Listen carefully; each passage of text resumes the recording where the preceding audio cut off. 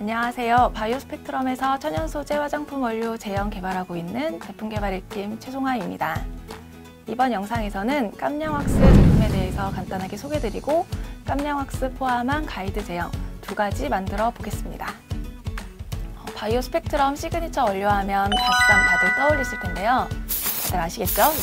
네, CalmYang Wax는 BSASM과 동일한 성분, 동일한 효능을 가지고 있습니다.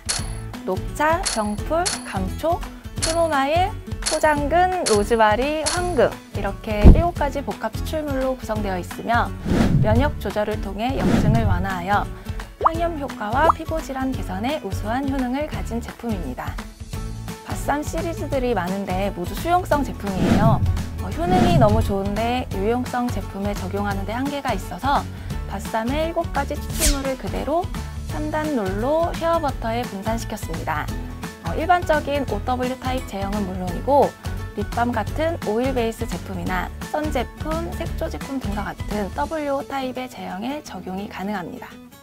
어, 그러면 이제 CalmYang Wax를 이용해서 립밤과 크림 두 가지 제형을 만들어 볼 건데요.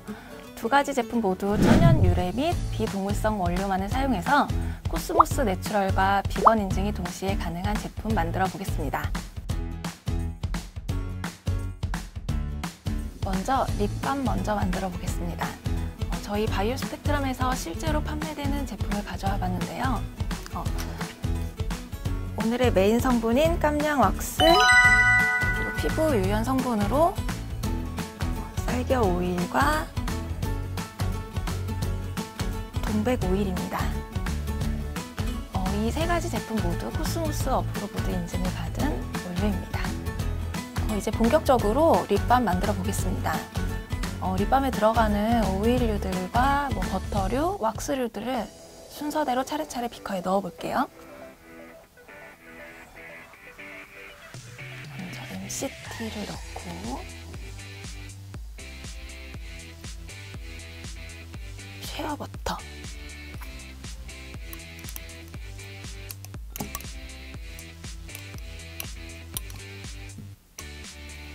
아까 말씀드린 바이오 RBO 저희 그 쌀겨 오일, 쌀겨 오일을 넣겠습니다.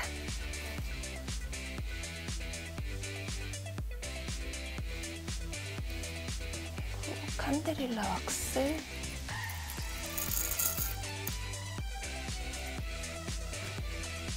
그다음에 망고 버터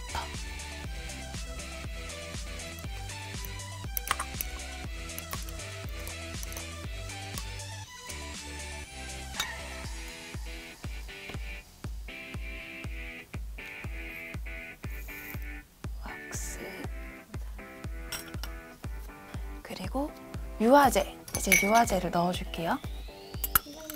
네. 유화제는 왜 넣어주는 거죠? 어, 유화제는 제형에 수분이 포함되어 있지는 않지만 어, 사용하시면서 공기 중에 노출되면 표면에 땀이 송글송글 맺힐 수가 있어요. 그래서 W/O 유화제를 넣어가지고 sweat 현상도 방지하고 제형도 안정화시키기 위해서 넣어줍니다. 저희 아까 설명드린 깜냥 왁스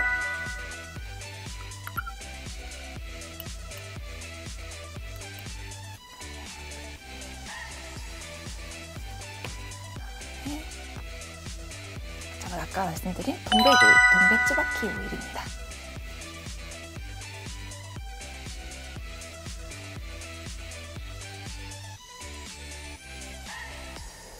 이렇게 다 넣었고요. 이제 핫플레이트 이용해서 한 80도, 80도 정도에서 완벽하게 완전히 녹여줄게요.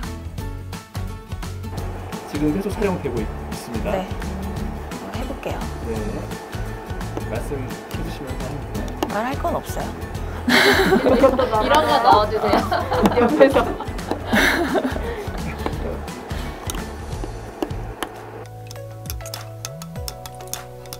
이제 80도씨 이상에서 A상을 완전하게 녹여서 왔고요. 그리고 50도씨 이하까지 냉각시킨 다음에 이제 향을 넣어줄게요.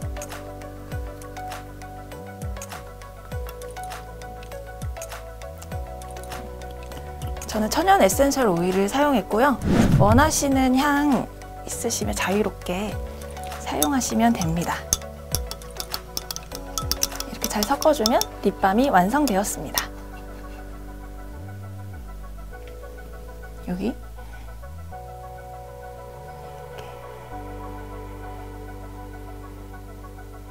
이렇게 부어서 냉각시키면 완성됩니다.